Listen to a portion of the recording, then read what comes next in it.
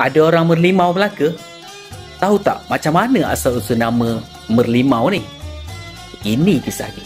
Perkataan melimau dikatakan berasal daripada upacara melimau keris.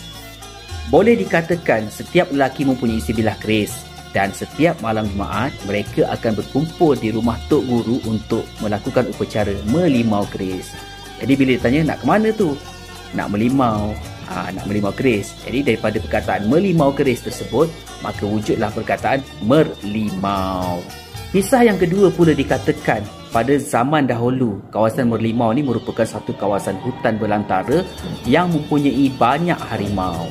Disebabkan itu, ada seorang pembesar yang dikenali sebagai Datuk Kaya mengarahkan supaya dibuat pagal untuk menghalang kemarahan harimau.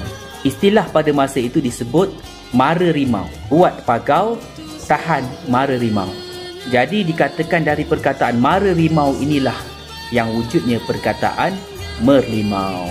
Jadi, dua kisah ini dikatakan sebagai asal-usul nama merlimau. Yang mana satu cerita yang betul?